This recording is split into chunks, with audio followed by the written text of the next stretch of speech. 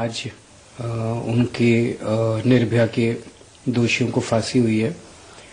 सात साल लग गए इसमें तो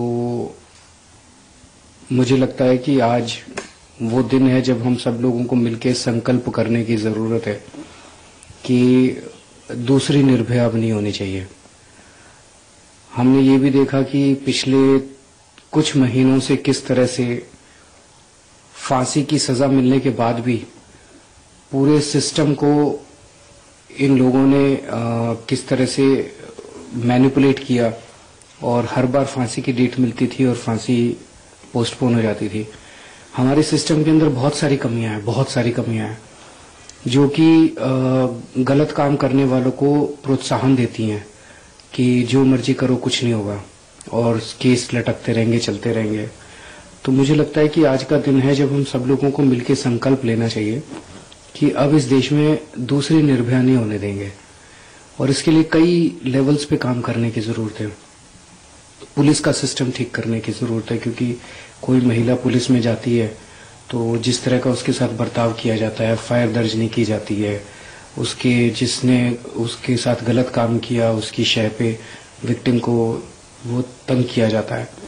उसे ठीक करने की ज़रूरत है। पुलिस की इन्वेस्टिगेशन प्रणाली को ठीक करने की ज़रूरत है ताकि जल्दी से जल्दी जाँच कंप्लीट हो। जुडिशियल सिस्टम ठीक करने की ज़रूरत है ताकि सात साल साल, सात सात साल ना लगे। छह महीने के अंदर मामला निपट के और दोषियों को फांसी होनी चाहिए। हमारे सरकार के, अब जुडिशियल सिस्टम और पुलिस तो हमारे अंडर नहीं है, लेकिन हमारी जितनी जिम्मेदारियाँ वो हमें करने की ज़रूरत है।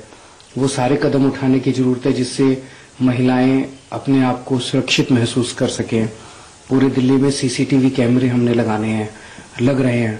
पूरी दिल्ली में जहाँ जहाँ डार्क स्पॉट्स है, वहाँ पे स्ट्रीट लाइट्स लगानी है। और भी जो जो कदम दिल्ली सरकार को बसों में मार्शल्स की नियुक्ति है, हुई है। जो जो कदम हमारे, जितने काम है वो हमें करने की ज़रूरत है।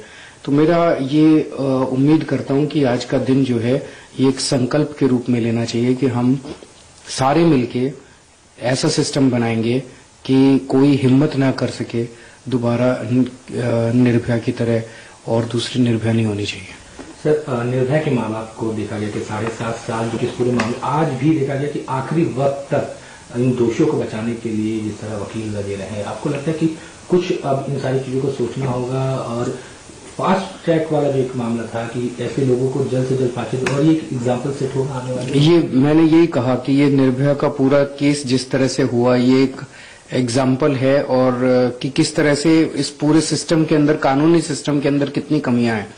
हमारे कानूनों में कितनी कमियाँ हैं जो कि दोषियों को मदद करती हैं और जो कि विक्टिम को न्याय दिलाने में कितनी देरी करती हैं। दिल्ली के मुख्यमंत्री अरविंद केजरीवाल